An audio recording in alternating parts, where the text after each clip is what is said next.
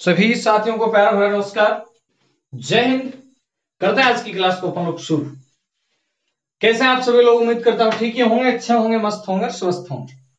साथियों, अपनी बात चल रही थी मारवाड़ राजवंश के अंदर। अपन लोगों ने पढ़ा कहाँ से लेके, अपन ने शुरुआत की राव सिहा से लेके। और राव सिहा से चलते चलते अपन लोग राव सूजा तक पहुँच गए। और राव सूजा में अपन ने देखा कि राव सूजा के एक पुत्र थे, राव बाघा। राव बाघा की हो जाती है राव सूजा के रहते हुए मृत्यु। तो राव सूजा के बाद में उनका पोता शासक बनता है और वो कौन था? राव गांगा। तो अपन बात करेंगे आज राव गांगा की। राव गांगा के बाद में नेक्स्ट राव मालदेव की। देखिएगा साथियों, यानी अपन बात कर रहे हैं राव गांगा। सीधा सीधा प्रश्न बनेगा अपने, कि राव गांगा का शासनकाल कब से लेके कब तक रहा? तो आप बताइएँगे 1515 ईस्वी से लेके 1531 ईस्वी तक।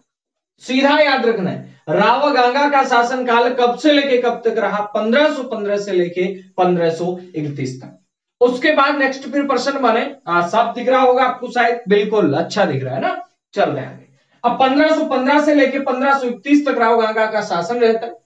यहाँ एक बात याद रखनी है कि राव सूजा के पौत्र राव सूजा के पुत्र व राव बाघा के पुत्र थे। राव सूजा के पुत्र व राव बाघा के पुत्र थे।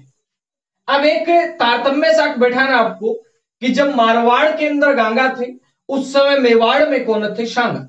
यानी याद रखना है, मारवाड़ में गांगा, मेवाड़ में सांगा। तो याद रखेंगे साथियों, राणा सांगा की अपन बात कर रहे हैं। ये यहाँ पे मेवाड़ है और ये यहाँ पे क्या है मारवाड़।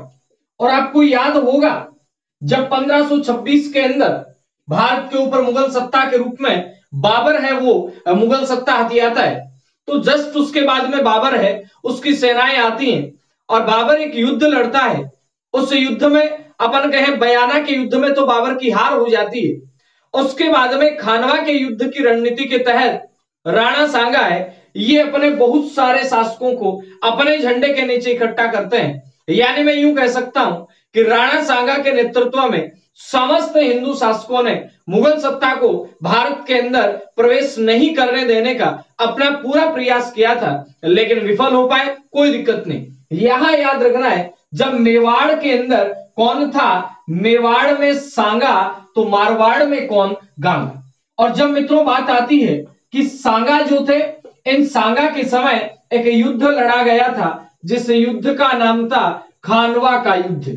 और उस खानवा के युद्ध की विस्तार से चर्चा में जब राणा सांगा पढ़ूँगा, पढ़ाऊँगा आपको, उस समय करूँगा। आपको इतना ही याद रखना है कि खानवा के युद्ध में राणा सांगा ने सैनिक सहायताएँ मांगी थी, और उस सैनिक सहायता के वक्त गांगा ने गांगा ने भी अपनी सहायता भेजी थी।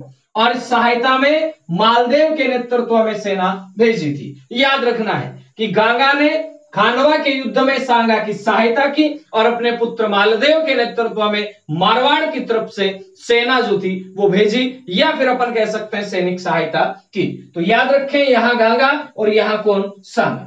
अब देखिएगा मित्रों नेक्स्ट जो बात बनेगी, वहाँ मैं पॉइंट के रूप में लिख देता हूँ। क्या यही लिख रहा है कि 1500 सत्ताईस ईस्वी के खानवा युद्ध में,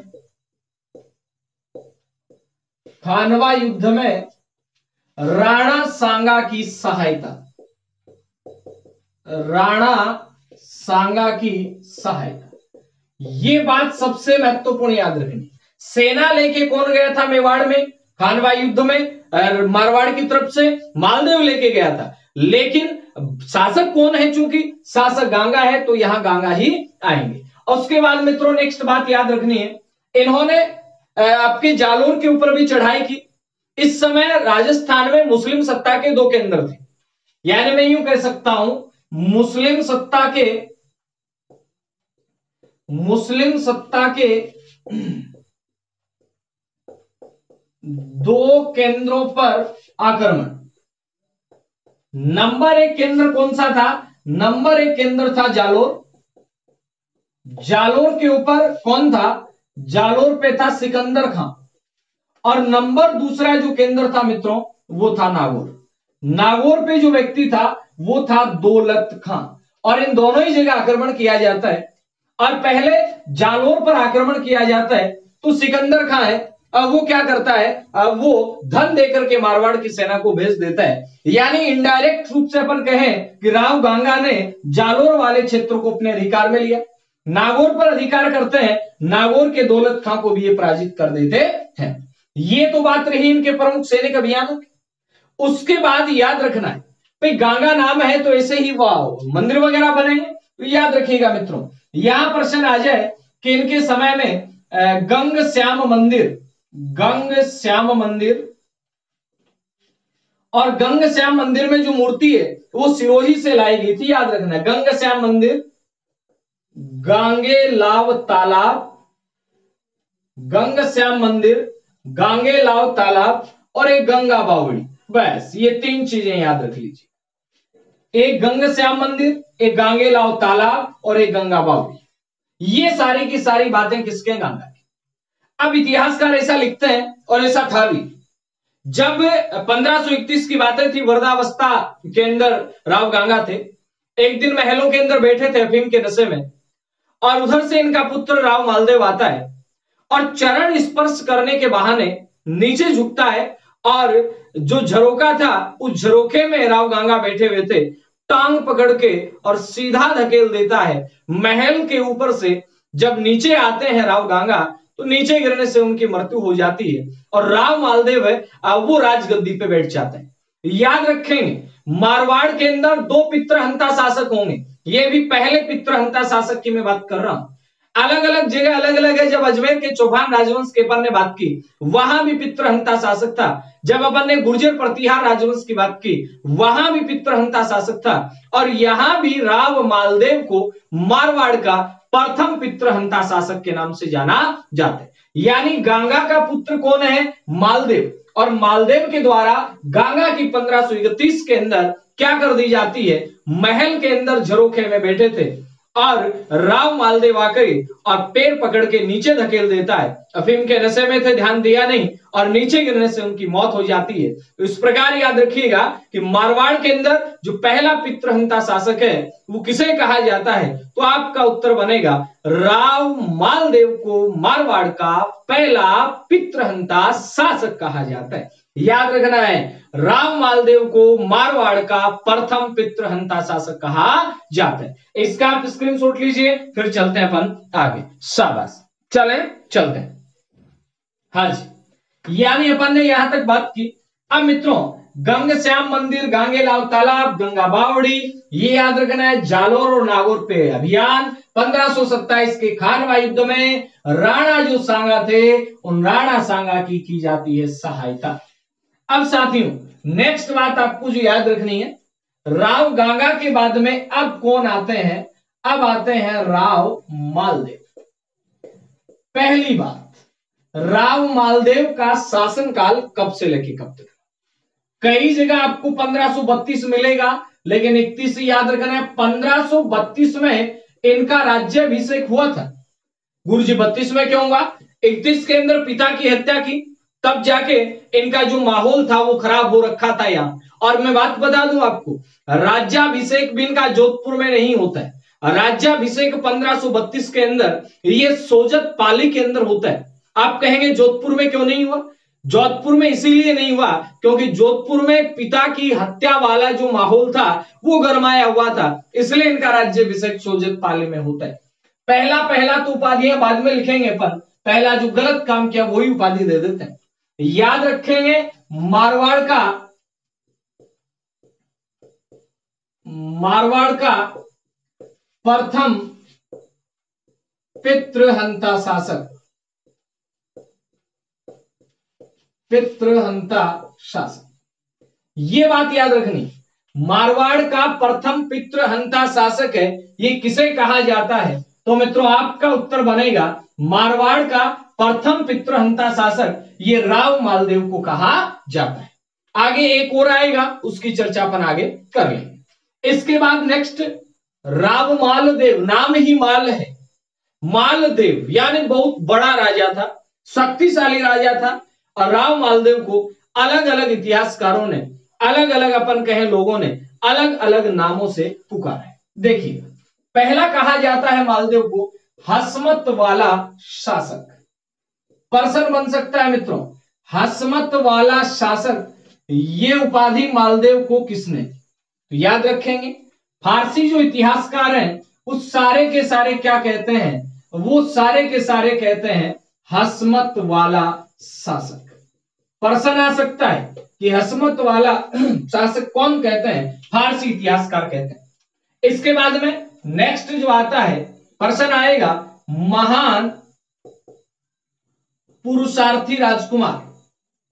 महान पुरुषार्थी राजकुमार। ये उपाधि किसने दी? मित्रों, याद रखिएगा, ये बदायूनी कहता है। बदायूनी, जिसके बारे में अपन लोग चर्चा करेंगे, कि वह हल्दी घाटी के युद्ध को भी तो गोगुंडा का युद्ध कहता है।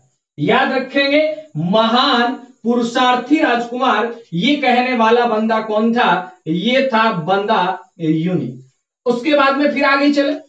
आगे चले तो एक और कथन आता है कि भारत का भारत का एकमात्र शक्तिशाली शासक शक्तिशाली शासक। ये जो उपाधि है, ये कौन देता है? मित्रों, याद रखिएगा भारत का एकमात्र शक्तिशाली शासक। ये उपाधि किसके द्वारा दी जाती है? किसको दी जाती है? ये बात याद रखनी है। ये उपाधि राव मालदेव को दी जाती है और देने वाला कौन था? फरिश्ता। यानी राव मालदेव के बारे में फरिश्ता का क्या मत था? कि यह भारत का एकमात्र आपका शक्तिशाली शासक है। उसके बाद में मित्रों नेक्स्ट इन्हें ही कहा जाता है, हिंदू बादशाह। प्रश्न आ सकता है कि मारवाड़ के किस शासक को हिंदू बादशाह कहा जाता है? राव मालदेव। उसके बाद में नेक्स्ट प्रश्न आ सकता है। मारवाड़ का योग्य व प्रतापी शासक। मारवाड़ का योग्य व प्रतापी शासक। हालाँकि प्रतापी शासक की बात आती है कि जिसका प्रताप रहा हो, वो रामचंद्र सेन भी है। लेकिन चंद्र सेन से पहले उनके पिता राव मालदेव को कहा जाता है मारवाड़ का योग्य व प्रतापी शासक। उसके बाद में मित्रों, जब अपन चित्रकला पढ़ेंगे तो याद रखना है, मारवाड़ की चित्रकला का गोल्डन एरा जिसे कहा जाए हालाँकि चित्र शैली जसवंत सिंह के समय में भी खूब फली, खूब बड़ी, लेकिन याद रखेंगे, जसवंत सिंह से पहले मारवाड़ की चित्र शैली का मारवाड़ की चित्र शैली का स्वर्ण काल जो कहा जाता है मित्रों, ये किसे कहा जाता है? तो याद रखिएगा, मारवाड़ की चित्र शैली का जो स्वर्ण काल है, ये कहा जाता है राव मालदेव के काल को। ये तो राव मालदेव के जो महत्वपूर्ण नाम है, उपनाम है, उनसे प्रश्न। क्या है याद रखिएगा, राव मालदेव को कहा जाता है मारवाड़ का प्रथम पितृहंता शासक, राव मालदेव को कहा जाता है हसमत वाला। याद रखिएगा हसमत वाला राजा। यहाँ कई स्टूडेंट्स आप जैसे गच्चा खा जाते हैं और वो क्या कर देते हैं? वो कर देते हैं यहाँ पे रावचंद्र सेन रावचंद्र सेन नहीं है, हसमत वाला राजा राव मालदेव महान पुरुषार्थी राजकुमार, ये भी मालदेव एकमात्र शक्तिशाली शासक की फरिश्ता ने कहा, हिंदू बादशाह, मारवाड़ का योग्य व प्रतापी शासक और मारवाड़ की चित्र चित्र शैली का स्वर्ण काल इसका फटाक से स्क्रीनशॉट लीजिए, फिर चलते हैं आगे। शाबाश। चले, चलते हैं। अब मित्रों नेक्स्ट जो बात है नेक्स्ट जो प्रश्न है, कौन सा है, किस प्रकार के, देखिएगा। मिटा दो इसको मैं, मिटा देते हैं। तो ये तो थी राव मालदेव की बात। है अब नेक्स्ट बात आती है राव मालदेव ने कौन कौन से अभियान चलाए, किस प्रकार से राव मालदेव की कहानी आगे बढ़ी, उसके बारे में अपन लोग चर्चा करते हैं। याद रखिएगा साथी राव मालदेव से एक प्रश्न बनता है इनकी रानी। वैसे तो इनके 25 रानियाँ थी। 25 रानियाँ थी 12 पुत्र थे, लेकिन इन रानियों में एक रानी थी, जिसका नाम था रानी उमा दे याद रखना रानी उमा दे और रानी जो उमादे थी ये इतिहास के अंदर जानी जाती है वो ऐसे लिख देता हूँ मैं। ये इतिहास में जानी जाती है मित्रों रूठी रानी के नाम से। प्रश्न आ सकता है, मुगल इतिहास की बात नहीं कर रहा, वहाँ भी एक रूठी रानी आएगी। लेकिन यहाँ पर राजस्थान के इतिहास की बात कर रहे हैं और मारवाड़ के शासकों की बात कर रहे हैं। स्पेशल जो राजस्थान का इतिहास रहा, पर्सनल इतिहास, उसमें जो रूठी रानी है, वो कहा जाता है किसे? रानी उमादे को। अब याद रखना है, रानी उमादे थी कौन रानी उमादे, ये आपका राव लूणकरण की पुत्री थी। राव लूणकरण, जो जैसलमेर से थे, राव लूणकरण की जो पुत्री थी ये कौन थी? ये थी रानी उमादे इतिहास में इसे किस नाम से जाना जाता है? तो याद रखिएगा, इतिहास इसे रूठी रानी के नाम से जानता है। अब इसकी कहानियाँ क्या बनती हैं वो देखिएगा। ये रहा आपने। ये जैसलमेर है, ये मारवाड़ है, ये अजमेर है। याद रखिएगा, ये अजमेर ये मारवाड़, ये जैसलमेर। पहले तो दोनों की शादियाँ होती हैं। इधर से रानी उमा दे इधर से कौन? आपका माल दे शादी हो गई। शादी होने के बाद में, पहले ही दिन, पता नहीं क्या नंबर हुई, किसी बात को लेकर के, मालदेव और रानी उमादे के बीच में मन मुटाव हो गया। और जब इस रानी उमादे और मालदेव के बीच जो मनमुटाव चल रहा था, इस मनमुटाव की खबर जब मिलती है लूणकरण को तो लूणकरण चाहता है कि इस मालदेव को खत्म करवा दे और लूणकरण मालदेव को खत्म करवाने का पूरा प्लान तैयार कर लेता है। इधर से जब पता चलता है लूणकरण की पत्नी को, बोले तो मालदेव की सासू माँ को कि तेरे को मरवाने का पूरा प्लान चल रहा है। वो बात पहुँचा देती है किसे? वो बात पहुँचा देती है राव मालदेव कौन? राव मालदेव है। उसके पास ये बात है, मालदेव की सासू लूणकरण की पत्नी उमादे की माँ पहुँचा देती है। और वहाँ जाने के बाद जो बात पहले से बिगड़ी हुई थी उमादेव और मालदेव के बीच में, उस बात ने अब बहुत ज़्यादा ज़ोर पकड़ लिया। और अब यहाँ रानी है। अब वो और ज़्यादा रुक जाती है। और उठने के बाद रानी यहाँ से कहा चली जाती है मित्रों? अजमेर। अजमेर चली जाती है। अजमेर के कौन से गढ़ में? तारागढ़ में। याद इतना ही रखना है। अजमेर के कौन से गढ़ में? तारागढ़ में। कौन गई? उमा देवी उमा देवी यहाँ से रूट के कहा चली जाती है? तारागढ़ में चली जाती है। एक ही बात याद रखनी है। कहा गई? तारागढ़ में। क्यों गई? बात में अड़बड़ होगी। अड़बड़ होगी मालदेव नशे में थे और वो चले गए। नशा उतरा सुबह। उतरा तो देखा। रानी रानी है ही नहीं गई रानी गई तो फिर वो तो नशे में काम हो गया, गुस्से में काम हो गया। कई बार आप भी गुस्से गुस्से में कहते खाना नहीं खाना। खाना नहीं खाना, रात को बारह बजते हैं, फिर लगती है भूख। बोलो, खाना है? कहाँ से मिले गुस्से गुस्से में मना कर दी अब साहब रानी साहिबा चली गई। रानी साहिबा चली गई, अब आए कैसे? तो इधर से मालदेव ने एक व्यक्ति को भेजा। उस व्यक्ति का नाम था ईसरदास। ईसरदास। ईसरदास जाता है, रानी को मनाता है और मना के वापस ले आता है। कैसे जैसे करके ले आया। जैसे ही रानी मारवाड़ में पहुँचने वाली थी, वैसे ही मालदेव की अन्य रानियों को पता चल गया। मैंने कहा, पच्चीस रानियाँ थी। मालदेव की अन्य रानियों को जब पता चलता है तो मालदेव की रानियों ने एक व्यक्ति को बुलाया, जो रानियों का स्पेशल था। उसका नाम था आस सिंह। क्या नाम था? आस सिंह। ये है ईश्वरदास मालदेव ने तो भेजा, ईसरा, जा, रानी लेके आ। जा, ईसरो गयो। रूठेड़ी रानी कटी तारागढ़ में। मालदेव के करो ईसरदास ने भेजो, ईसरा, जा, रानी ने लिया। ईसरो कहिया जिया मनार लियायो। ईसरो मनार लियायो जो रानिया बुलाई इमरजेंसी मीटिंग आपातकालीन मीटिंग की उम्र आ रही है, उमा दे आ रही है तो सारी रानी एक होगी, और आसिया ने बोले आसिया इन्ने मरे। आसी बोले, बोल लो सा बोले, एक काम कर रानी है जकी आपने राज मेला में नहीं आनी चाहिए, कया जय मेरे गोली दे रहा आसियो गए बैठा कौन गए आसियो। आज सिंह बारट याद रखेंगे रानियों ने भेजा आज सिंह बारट को। बोला आसिया जा रे, आसियो गए रानी मुलाकात करी। चरण स्पर्श रानी साहिबा को। आ गए आप, रानी बोली आ गई आ गए बोले आ गई बोले, देखो रानी साहिब, एक बात है। क्या? बोले, मान रखे तो पीव तज, पीव रखे तजमान। मान रखे तो पीव तज, पीव रखे तजमान दो दो वायद ना निभे, एक खम्बू दो ठान के बात कही? मान रखे तो पीव तज, पीव रखे तजमान दो दो वायद ना निभे, एक खम्बू दो ठान रानी के तो मान राख ले, के पीव राख ले। मान रखे तो पीव तज, जे मान राखना तो पिया ने छोड़। मान रखे तो पीव तज पीव रखे तजमान अगर पियो राखण तो स्वाभिमान छोड़ दे। दो दो वायद ना निभे, एक खंबू दो ठाण। जाए एक खंबा के एक खूंटा के दो ठाण को नहीं हो सके। भैया दो दो वादा को निभ सके?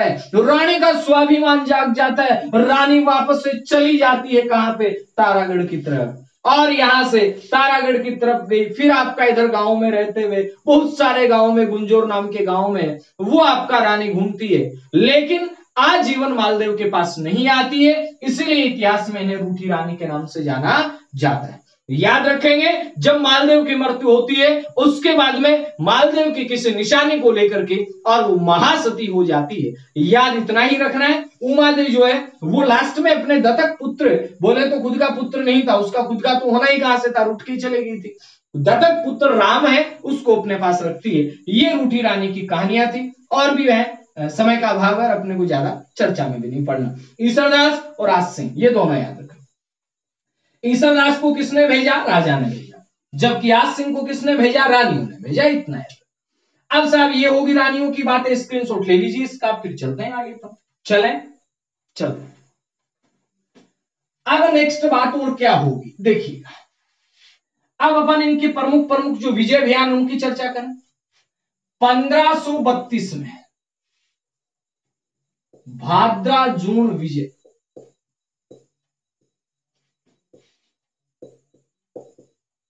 भाद्रा जोन विजय। वीरा स्वामी नाम का एक व्यक्ति था, उसके पास भाद्रा जोन का किला था। अब यहाँ पे राव मालदेव आक्रमण करता है और आक्रमण करके और इस किले को अपने पास ले लेता है। इसी समय याद रखना है 1532 में मेवाड़ पर बहादुर शाह का आक्रमण वह राव मालदेव द्वारा सहायता प्रदान करना आक्रमण व राव मालदेव द्वारा क्या करना? सहायता प्रदान करना। यानी बहादुर शाह जब मेवाड़ पर आक्रमण करते हैं तो उस आक्रमण के समय राव मालदेव है, वो आपको मेवाड़ को सहायता देते हैं। जैसे राव गांगा ने सांगा को दी थी, उसी प्रकार ये भी अपनी सैनिक सहायता बहादुर शाह के आक्रमण के समय दे देते उसके बाद मित्रों नेक्स्ट याद रखना है। उसके बाद नेक्स्ट याद रखें 1533 1533 में नागौर पे आक्रमण करता है। और यहाँ एक युद्ध होता है, हीराबाड़ी का युद्ध। हीराबाड़ी का युद्ध। कहा लड़ा गया? नागौर में। किसके साथ लड़ा गया भाई साहब? ये लड़ा गया दौलत खां। राव मालदेव व दौलत खां के मध्य। राव मालदेव और दौलत खां के मध्य लड़ाई। याद रखना है, जीत किसकी होगी? जीत दौलत खां की नहीं होगी, जीत होगी राव मालदेव की। एक हाथी का नाम आता है। दौलत खां का हाथी था दरिया जोश। जैसे अपन पढ़ता है ना राम प्रसाद हाथी था क्या वो? राम प्रसाद गुरु जी पढ़ेंगे, मेवाड़ का इतिहास आएगा। गजराज भी था क्या? गजमुक्त भी था क्या? मर्दाना भी हाथी था क्या? हवाई भी हाथी था क्या? थे हाथी। ये हाथियों के नाम है। वैसे ही दौलत खां का हाथी था दरिया जोश। प्रश्न आ जाए दरिया जोश क्या है, दौलत खां का हाथी था, दौलत खां कौन था? नागौर का स्वामी था अपने आप के अंदर। किसके समय की बात है? राव मालदेव के समय की बात है। राव मालदेव इस युद्ध के अंदर जीत जाता है। और यहाँ याद रखना, हीराबाड़ी का जैसे ही जीतते हैं। वीरम मांगलिया मांगलिया मांगलियोत को, मांगलियोत। वीरम मांगलियोत को वहाँ का सूबेदार कर देते हैं, कोई खास बात नहीं, प्रश्न नहीं है। इसके बाद नेक्स्ट याद रखना है 1533 के बाद में 1535 मेड़ता विजय, यानी जो मेड़ता के ऊपर जिस वीरम देव का शासन था, उस वीरम देव को हराते हैं और मेड़ता को अपने अधिकार क्षेत्र में लेते हैं। याद रखेंगे, मेड़ता विजय की बात कब की थी? 1535 की थी। 1533 में हीराबाड़ी का 1532 में भाद्राजोड़ की विजय। तभी तो कहा जाता है हसमत वाला राजा। तभी तो कहा जाता है महान पुरुषार्थी राजकुमार। तभी तो कहा जाता है एकमात्र शक्तिशाली शासक। तभी कहा जाता है ना, ऐसे थोड़ी कहा जाएगा। उसके बाद याद रखेंगे 1538 में 1538 में याद रखना है सिवाणा। सिवाणा विजय। यहाँ के राजन थे डूंगर सिंह उनको हरा के, और सिवाणा जो दुर्ग था, उसके ऊपर अधिकार कर लेते। सिवाणा को ही कहा जाता है मारवाड़ के राजाओं की आपातकालीन राजधानी, संकटकालीन शरण स्थली सिवाणा को कहा जाता है याद रखें। सिवाणा विजय के बाद में एक और विजय याद रखनी है। वो भी अपन करेंगे, एक बार इसका स्क्रीनशॉट लीजिए, फिर चलते आगे। पाहेबा साहेबा का युद्ध साबास ले पाए स्क्रीनशॉट इसका। चले आगे, चलते सिवाणा विजय, मेड़ता विजय। अब आएँगे दो महत्वपूर्ण युद्ध। और दोनों ही आपको ध्यान दे। साथियों, गौर कीजिएगा। यहाँ अपन ने बात की। एक बार फिर से देखिएगा। ये मारवाड़ है और ये बीकानेर है। एक ही ब्रांच से गए हैं। भाई अपन ने देखा था इधर जोधा थे। जोधा के पुत्र थे। उन पुत्रों में राव बीका चले जाते हैं, बीकानेर। और बीकानेर जाने के बाद में अपन ने यह भी पढ़ा था कि बीका का संघर्ष सूजा के साथ भी होता है। यानी दोनों के बीच अनबन तो बनी रहती थी। एक ही वंश के थे, लेकिन अनबन थी। अब मारवाड़ और बीकानेर। मारवाड़ में कौन है भाई साहब? राव मालदेव। बीकानेर में इस समय कौन है? राव जेत सिंह। अब यहाँ राव मालदेव और राव जेतसी के बीच में एक युद्ध होता है और इतिहास में इस युद्ध को कहते हैं पाहेबा साहेबा का युद्ध। प्रश्न आ सकता है कि पाहेबा साहेबा का युद्ध कब लड़ा गया? 1541 कई बुक में आपको 1542 भी मिलेगा। याद 1541 रखना है। कब तो रखना है 1541 1541 में कौन सा युद्ध है?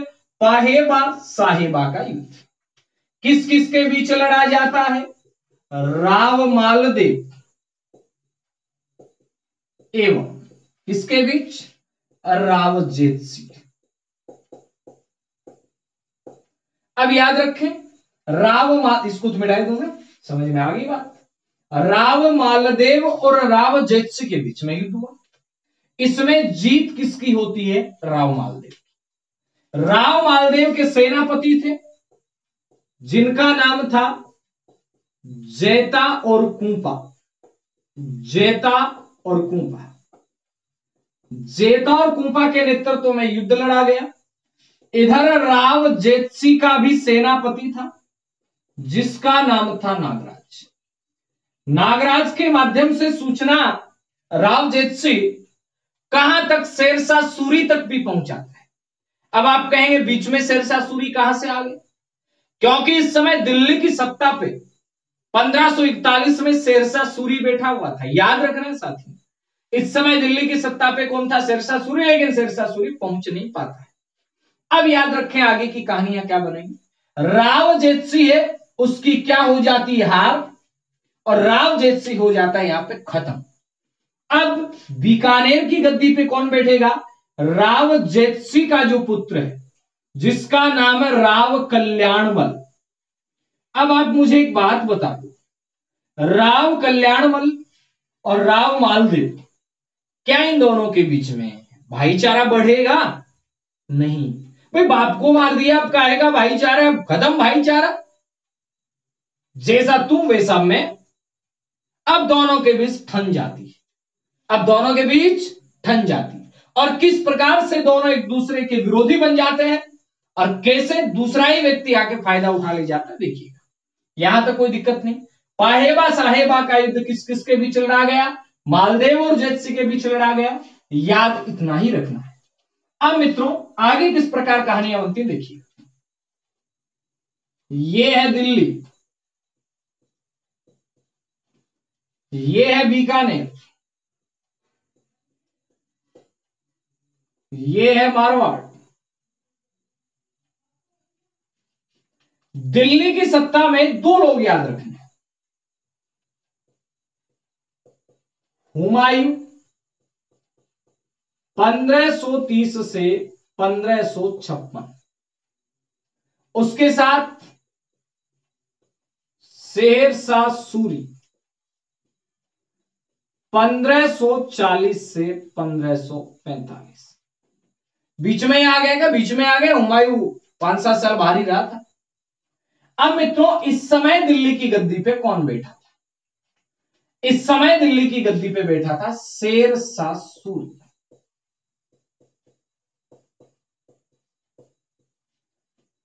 हुमायूं था, वो दर दर की ठोकरें खा रहा था। और इसके बारे में तो हुमायूं के बारे में तो लेनपुल लिखता है। कि हुमायूं ज़िंदगी भर दर दर की ठोकरें खाते रहा लास्ट में ठोकर खा के इसकी क्या होगी मौत होगी? बता दें कि पुस्तकालय की सीढ़ियों पे ठुकरा के नीचे ग्राम मर गए। अब हुमायूं दर दर की ठोकरें खा रहे हुमायूं इस समय जब चारों तरफ़ से गिरा हुआ था शेरशाह सूरी ने हुमायूं को कन्नौज वाले बिलग्राम युद्ध में हरा दिया था। तब मालदेव को पता चला, क्या? मालदेव ने सोचा, यार, हुमायूं के बाद में नंबर अपना भी आ सकता है। तो मालदेव हुमायूं के पास सहायता करने का एक प्रस्ताव भिजवाता है। हुमायूं भी इस बात को शहर से स्वीकार कर लेता, उसको भी आसरा चाहिए था। हुमायूं और मालदेव दोनों एक जोगी तीर्थ नाम के स्थल पे मिलते हैं। कौन से स्थल पे? ज़्यादा खास नहीं। जोगी तीर्थ नाम के स्थल पे हुमायूं की और मालदेव की मुलाकात। जब ये दोनों मिलते हैं, अब यहाँ कौन था? राव कल्याणमल अब कल्याणमल को ये बात जची नहीं, पची नहीं। कल्याणमल बाजू बाजू की कर शेरशाह सूरी कन और बोले भाई, सुने, केक रहे हैं। लोग तो आपस में दोस्ती कर रहे हैं। शेरशाह सूरी बोले, हैं? बोले हाँ। शेरशाह सूरी ने समाचार पहुँचाया मालदेव के पास। बोले मैं देख सुन मालदेव। तेरी मेरी कोई दुश्मनी कौन है? बोले, कौन है? एक काम कर, जय हुमायूं तेरे का नाव है बेउमायन बंदी बना मन पकड़ा दे। मालदेव देखेंगे। अब साहब दोनों मिलते हैं। मालदेव दोनों तरफ़ से फंस गया। शेरशाह सूरी का डर साफी था। अब इसके बाद में नंबर अपना। इसलिए हुमायूं को सैनिक सहायता नहीं दी। और एक राजधर्म छत्र धर्म, उसके तहत मालदेव को बंदी नहीं बनाया। सॉरी हुमायूं। प्रश्न आए कि मालदेव ने हुमायूं को बंदी क्यों नहीं बनाया? इन्होंने अपने धर्म को देखा कि मैं मेरी शरण में आए हुए व्यक्ति को बंदी नहीं बनाऊँगा। सैनिक सहायता क्यों नहीं दी? इधर से खतरा था। और इस प्रकार से हुमायूं आता है, वापस चला जाता है। ये बात जब शेरशाह सूरी को पता चलती है तो शेरशाह सूरी दिल्ली से चढ़ाई करता है। दिल्ली से आगरा देते हुए, नारनौल देते हुए, इधर से फतेहपुर देते हुए डिडवाड़ा देते हुए पहुँच जाता है कहा? मारवाड़ में। और ये बात है पंद्रह की। कब की है? पंद्रह याद रखेंगे, अब शेरशाह सूरी कहा आएगा मारवाड़ में? यानी मैं यूँ कह सकता हूँ शेरशाह सूरी अब मारवाड़ में आ जाता है। इधर से एक स्थान था, जिसका नाम था सुमेल। इधर से एक स्थान था, जिसका नाम था गिरी। गिरी के अंदर सेना इकट्ठी होती है राव मालदेव की।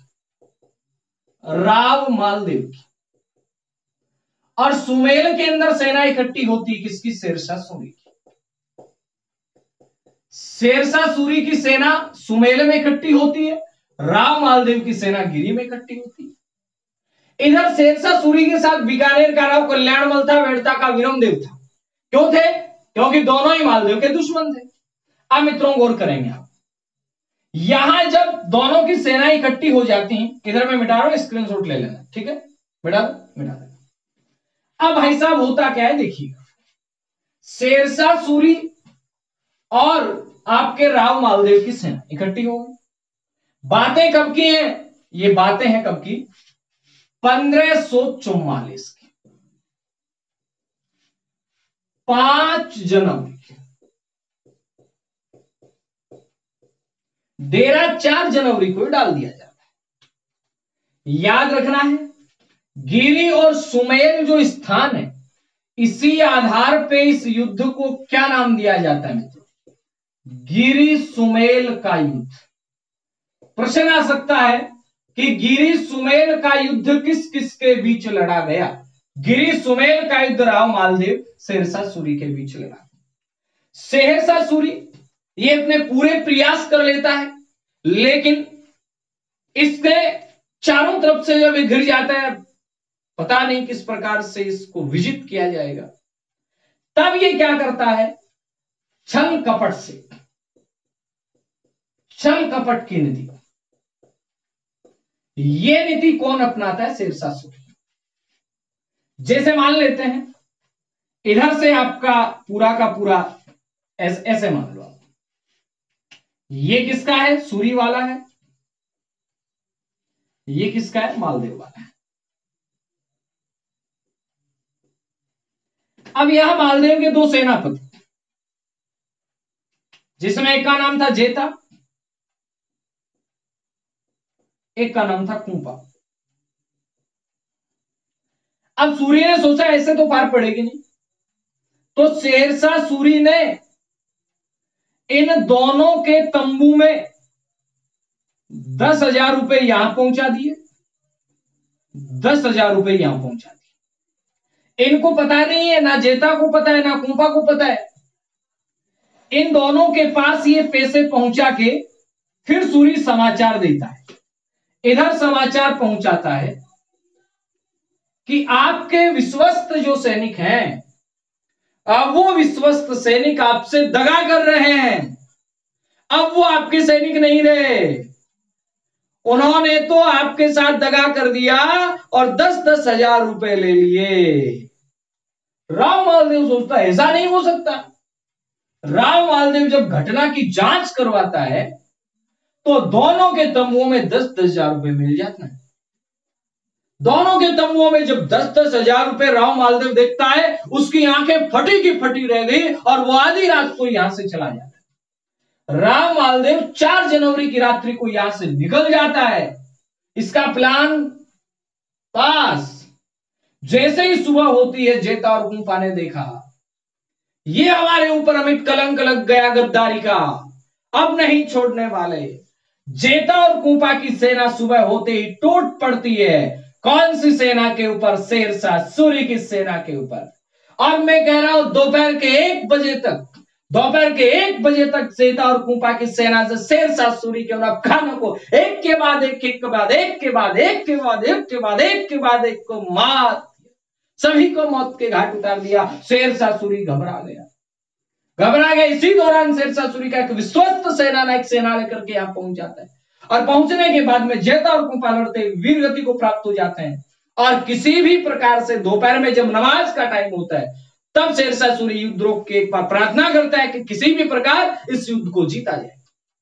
जब ये युद्ध बड़े ही अपन कहें, बड़ी कठिनाई से शेरशाह सूरी जीतता है तो अनायास इसके मुख से बात निकल पड़ती है कि मैं एक मुट्ठी भर बाजरे के लिए पूरे हिंदुस्तान की शहादत खो बैठता कि जोधपुर को बड़ा क्षेत्र नहीं था, एक में मुट्ठी भर बाजने के लिए पूरे हिंदुस्तान की शहादत को बैठता ये सूरी कहता है, इतना प्रभावशाली युद्ध था, इतना इन्होंने रण कौशल दिखाया, जेता और कुंपा ने। और अंततः ये दोनों वीरगति को प्राप्त होते हैं। और शेर सा सूरी है, उसका जोधपुर पे अधिकार हो जाता है, और जोधपुर पे अधिकार जब हो जाता है, मैं यूँ कह सकता हूँ शेरशाह सूरी का जोधपुर पर अधिकार हो गया। अब कहें यहाँ का मुख्य किस व्यक्ति को सौंपा? तो खवास खां को। खवास खां को सौंपा और खुद चला गया। अगले ही साल 1545 ईस्वी में याद रखेंगे, एक प्रक्षेपास्त्र उक्का उक्का नाम का, उक्का। उक्का।